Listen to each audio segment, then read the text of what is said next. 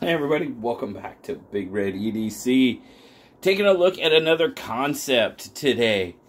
Now, this is the Kansept Main Street. Now, the Main Street itself has been out for quite a while now, but I think you'll notice on this one, it's a little bit different because it's got the crossbar lock. Yep, Kansept has re-released the Main Street with a crossbar lock. Cool, I'm down. I like that. You guys know any uh any knife that keeps my fingers out of the cutting path, I kind of I kind of dig that. So, very cool. And I tell you what, uh, Kansept did send these out, and I have to give a huge shout out to Emily from Kansept because did she ever send me a sexy one? Yeah, you guys know I am digging that red and black G-Mascus. Wow. Yeah, I like it. I like it a lot. So like she knows me or something. And actually, uh, this is really the first time I've ever talked to Emily. So very cool. Good job, Emily. Thank you so very much. But um, like I said, it, it's really no different than the original Main Street, other than this one now has a crossbar lock. Again, Dirk Pinkerton design, of course. Pretty open construction. Everything chamfered off really, really nicely. Done very well. And oh, I just like looking at that G-Mascus. Um, no really designated spot for a lanyard, but we do have a deep carry clip. Yes, indeed. Now, no recessed screws, but they're pretty, they're pretty flat, so we'll give them that. You got plenty of room under there, but I would like to see recessed screws. You know that. That's just kind of a thing. Like I said, crossbar lock everything. Do we have a letterbox going on? Yeah, not really. Not really a letterbox thing going on. Flat scales. Uh, not much contour to them. Centering is pretty darn good. Yeah, it is. Not too bad at all. Dual thumb stud deployment, just like the original, of course. But, there you go. There's your difference. The crossbar lock. Pretty smooth action. Nice, solid lockup. I wonder, can I keep my finger out of the way? Oh, oh, well, that wasn't very snappy because, well, it kind of bounced off my finger. I can do it. I know I can. See, I take it from behind the camera. I can do it. All right, there you go. You heard it. You might not have saw it. Whatever. But yes, yes, you definitely can reverse flick it. 154 CM Kansept. There's your model number, of course. Dirk Pinkerton's maker's mark along with a fingerprint. There you go. That's there you go. You got my identity now. Very cool. And of course, 154 cm on the blade steel. And you've got a pretty light stonewash. They call it a stonewash finish. It's it's a light stonewash. It's not very aggressive, but it looks pretty darn good. The other thing I did is you kind of got that stonewashed pocket clip or kind of distressed pocket clip. I like the looks of that. You know, I personally, I personally like the way it looks. I don't know if anybody else does, but I do.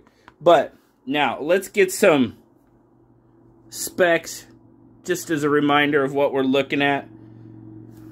One, two, three, four, five, six, seven. Pretty much an eight inch knife. Really close. You're looking at right about a four and a half inch handle, three and a half inch blade, and then your cutting edge is probably going to be more about three and a quarter. Your overall grip length, point to point. Oh, looky there. Three and three quarter. Yep. Just past. Just past that pinky finger. And of course, does feel pretty darn good. So let's do a size comparison. And I do really have to thank Emily because not only did she send along the crossbar Main Street, but she sent on sent over one of the original Main Streets in green micarta liner lock version. So there you go. There's just kind of a comparison between the two. I mean, other than other than the crossbar lock, they're pretty much the same. You got a three and a half inch blade. That and now it does almost look. Let me see here if I can get these lined up.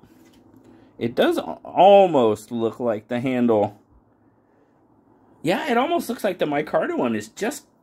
It could be an optical illusion. But it kind of does look like it's almost a little bit bigger. But anyway, I'm sure it's not. I'm sure it's kind of crazy. But yeah, there you go. There is your original Main Street. Pretty darn good action on that one too. Nice dropper. But again, have to thank Emily for that. Of course, we'll get the PM2 out there. And as you can see, PM2 is going to be a little bit longer. Pretty much, pretty close to a quarter of an inch on the blade. And handles are right, right there. Handles are pretty darn close. So that means our Bugout is to be the smaller of all three. There you go. Obviously, uh, blades are blades are close. Yeah, let's do the whole. Yeah, blades are not that far off, but the handle handle's a good half inch, probably five eight longer on the main street.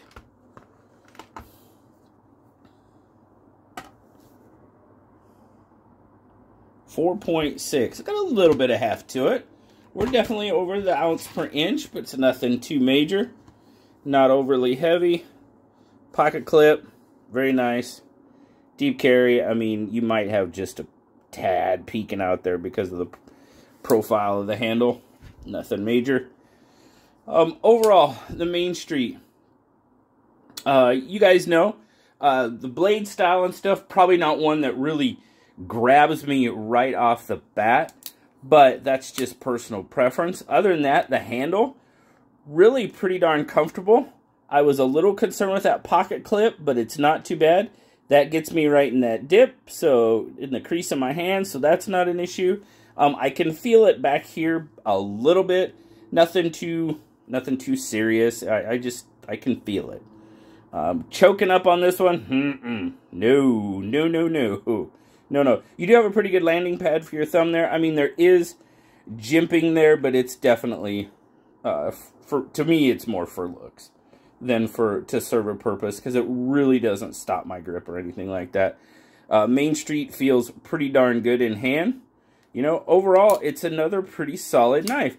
They just went ahead and did the crossbar lock on the Main Street. Now, I know a lot of you, uh, back when the Main Street did come out, there was a lot of chatter about it. I know people were really kind of digging it, which is cool. Well, if you're one of those people that really kind of dug the Main Street. What do you think of the Main Street now that it has a crossbar lock on it?